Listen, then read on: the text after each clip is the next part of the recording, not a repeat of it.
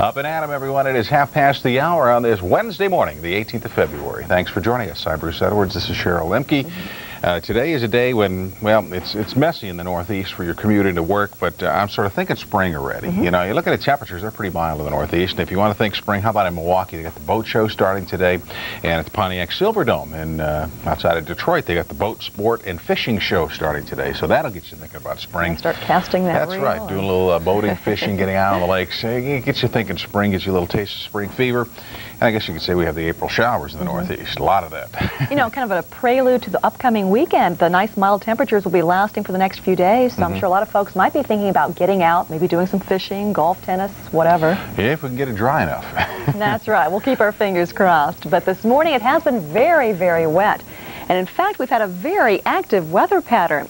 We've just had a series of storm systems plowing into the west, and they mainly take kind of a southerly route. They worked their way across the south, tracking across the Gulf coastal region. That's what happened yesterday. We had several reports of very strong thunderstorms, some packing hail and very heavy amounts of rain and gusty winds too. And now that storm system rotting off towards the northeast. And boy, what a gray, murky Wednesday across much of the country. So kind of a gloomy start to your Wednesday. We have three storm systems of concern today. Our first storm system was the one that brought the severe weather across the southeast. Now it's lifting to the north. At the same time, though, a new storm system is taking shape across the southwest, and this may eventually bring a round of showers and thunderstorms later this afternoon and tonight for those of you around Dallas. Meanwhile, another system coming in across the west, a little bit weaker, but there's going to be an even more substantial storm system that will likely take uh, aim on the Pacific Northwest later tonight and tomorrow. So again, just a parade of storm systems lined farther out into the Pacific, and they will all slam into the west over the next several days or so. Into the Northeast we go, as we've been mentioning, a very difficult morning commute. Mainly some lighter rains around the Ohio Valley, but we've had some soaking rains lifting across southern sections of New England. Basically, we have our main low pressure system over western Ohio, but there's a vigorous upper level disturbance that's also kind of pivoting its way across the northeast. And part of that upper level disturbance spawned a possible tornado yesterday near Fredericksburg, Virginia, and Freder- Fredericksburg, Maryland, I should say. And now that piece of energy is lifting over across the northeast, and we're seeing some really heavy downpours over parts of Massachusetts. Around Worcester, Mass, heavy downpours, soaking rains too coming in across Connecticut. So be really careful this morning if your travel plans take you across the Merritt Parkway. Again, the rain surging across the northeast, a slow go across the Massachusetts Turnpike, more rains too as we head over towards New York and Pennsylvania. We've had the rain around JFK and LaGuardia this morning. It's lightening up a little bit, but still a little wave of moisture coming in from the south. And more rains too around the New York Thruway, back through the Pennsylvania Turnpike, and a cold rain event back through the Ohio Valley. Now, it's rather unusual because it's February, and to see this much precipitation, you might think it's falling in the form of snow. But that has not been the case. Temperatures right now 30s and 40s across most of the Ohio Valley, so certainly mild enough to support just plain rain as opposed to snow. But nonetheless, it has been raining Lexington and Louisville over towards Dayton and Toledo, Ohio. We have more spotty rain too coming in across Indiana. With the storm system riding to the northeast, it's also generating some very stiff winds. Currently around Falmouth, Massachusetts, winds gusting in excess of 50 miles per hour. A real stiff, strong onshore flow today, a raw morning. With those strong winds, gale warnings have been posted throughout the northeast. Meanwhile, still some wraparound moisture too, kind of curling back towards the Tennessee Valley. And they've had a few light sprinkles this morning around the Atlanta metro area, but certainly the worst is over. Yesterday morning, the commute was just a nightmare across the southeast. Much better than what we saw yesterday, but again, some light rains around Atlanta. More light rain, too, as we head over towards Crossville, uh, Tennessee, and Knoxville, right across the Cumberland Plateau. Most of this moisture continues to lift off towards the northeast.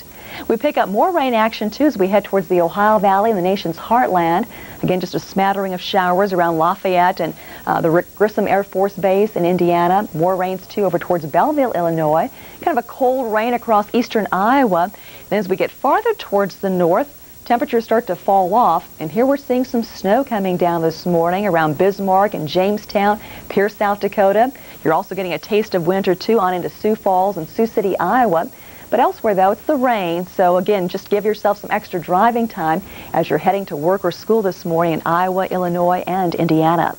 To the west we go. Well, Denver, you're in great shape this morning. Kind of quiet, too, as we head over towards Las Vegas and San Diego and Los Angeles. But there's our next storm system gearing up across the southwest. So far, it has brought some rains as far south as Fort Huachuca, Arizona. We've had some rain, too, around Douglas. Nearly three quarters of an inch of rain has fallen since last night. And there's our next storm system coming on board across the Pacific Northwest. And now a quick look at the temperatures. And again, as far as February is concerned, this is not too bad. Granted, you'll still need your winter coats this morning, but nothing really bone-chilling cold, nothing too terribly frigid. Right now, 35 for Des Moines, Iowa. Good morning for those of you in Chicago. Grab the coats. It's 39 degrees this morning. Boston sitting at 36 and 45 and rather wet around New York City. How about the rest of your Wednesday? Let's check out the forecast with Bruce. All righty, we got it for you. Midday, we see our storm churning in the northeast, and that'll continue to keep it rather damp, although it will begin to lift on up across southern New England later in the day. This low spread some showers into Texas, and lo and behold, another Pacific Northwest storm. What else is new? Into the northeast, though, with that low cranking on up, we will see the precipitation gradually end from south to north as everything lifts on through. Northern sections of New England will pick up the snowfall, a little transitional area, and some uh, heavier rains early this morning here in southern New England, gradually tapering off as we go through the day. But in the Ohio Valley, where the low cranks around, it will be mild, but it will be moist. 50 in Pittsburgh for a high today. 50 also in New York, about 37 or 8 in Boston. To the southland, we will see a partly to mostly sunny day by and large. 81 degrees towards Miami, 74 Tampa, 79 Orlando, Atlanta about 56. But late in the day, clouds increase and showers will skirt toward Dallas later today, but still mild, high of about 60. The northwest once again gets uh, another storm. That means more significant rain around western Washington and Oregon into northern California. San Francisco 59, and generally we're talking uh, increasing clouds, but staying dry. LA looking good at 68 degrees, while the low will continue to churn in the Ohio Valley, scattering some showers, but 41 for Chicago, little snow in Fargo and 35. Each new day, People across America add just a little more beauty to their lives by adding something beautiful to their homes. Vinyl siding by Alcoa. Low maintenance exteriors that reflect the timeless beauty of nature. So today the Larson's masterpiece in Davenport and the Morgan's contemporary in Connecticut never looked better. Vinyl siding for your home's most beautiful side. Beauty inspired by nature. Siding created by Alcoa. Check your Yellow Pages for an Alcoa contractor near you. My daughter, Miss Too Cool for Family.